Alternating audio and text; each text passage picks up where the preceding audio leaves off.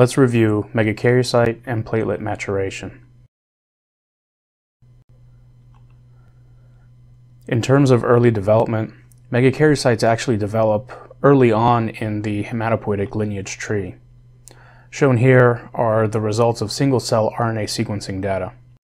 Each point represents a single-cell transcriptome from a collection of CD34 positive human progenitor stem cells. You can see that the megakaryocytic and erythroid progenitors, or MEPs, actually branch off early from the multipotent progenitors and common myeloid progenitor series. So this is one of the earlier cell fate decisions made in hematopoiesis, compared to common myeloid and lymphoid progenitors, which share a lot of overlap in the progenitor phases of development. MEP commitment toward megakaryocytic maturation is tightly regulated through transcriptional and epigenetic mechanisms which act together with extrinsic signals. Thrombopoietin, or TPO, and its receptor, MPL, play the primary role in the extrinsic signaling of megakaryopoiesis. The TPO ligand is predominantly produced in the liver, with significantly smaller amounts also being produced in the kidney, testes, and bone marrow. The MPL receptor is a homodimeric type receptor that requires the tyrosine kinase JAK2 for signaling. The TPO MPL axis is important for hematopoietic stem cell proliferation and megakaryocyte commitment, but it is actually not needed in megakaryocyte maturation or platelet production. This is an early signaling event. Several transcription factors downstream of this TPO MPL signaling drive megakaryopoiesis and platelet production. Among them, GATA1 is essential for proper erythroid and megakaryocyte differentiation. GATA1 null embryonic stem cells can produce megakaryocytic and erythroid progenitors, but their maturation is severely impaired. And germline missense mutations in GATA1 result in X-linked thrombocytopenia and anemia. In addition to GATA1, there is FLI1, which is another pro-megakaryocytic transcription factor. FLI1 and GATA1 work together to activate the expression of several megakaryocyte-specific and platelet-specific receptors like MPL, glycoprotein 2b, also known as CD41, and glycoprotein 9, also known as CD42a. They also activate several other transcription factors responsible for megakaryocyte and platelet maturation, among them RUNX1, which affects megakaryocyte polyploidy and allows for proplatelet formation by regulating downstream target expression of MYH9, MYH10, and MYL9. TUB1 is another transcription factor downstream of GATA1, which encodes a major component of microtubules and the transcription factor NFE2, which, when knocked out in mice, results in absence of circulating platelets.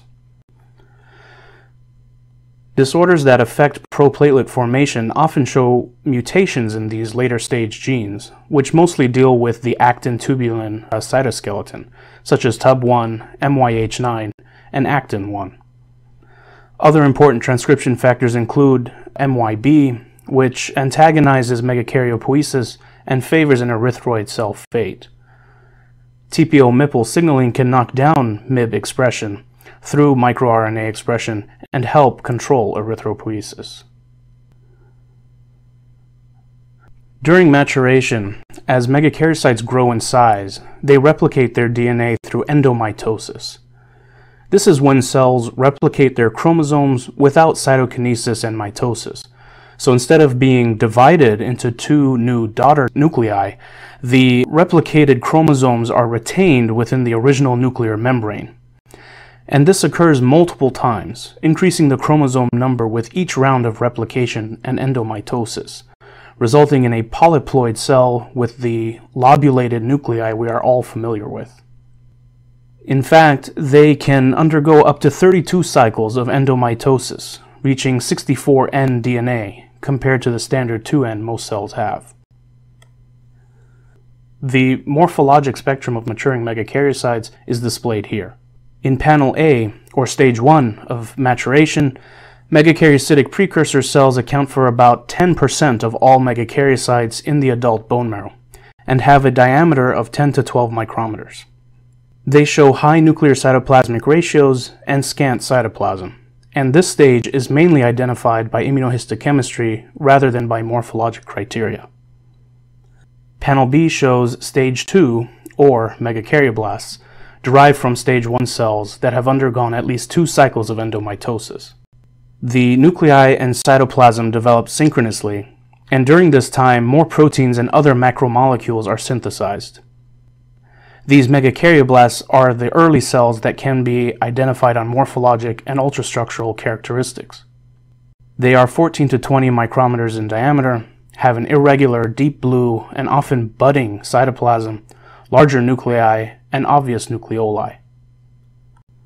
Panels C and D show stage 3 cells with a diameter of 20 to 40 micrometers, with lobular nuclei, or even multinucleation in rare cases, a semi-transparent marginal zone, and a central area containing tiny granules. Ploidy varies in this stage, and this is also the stage where the demarcating membrane system, or DMS, begins to expand. The DMS is a labyrinth-like membrane system that forms in the cytoplasm and appears to be an extension of the rough endoplasmic reticulum and Golgi apparatus by ultrastructural analysis. Its function is to prepare the cytoplasm for proplatelet division and release.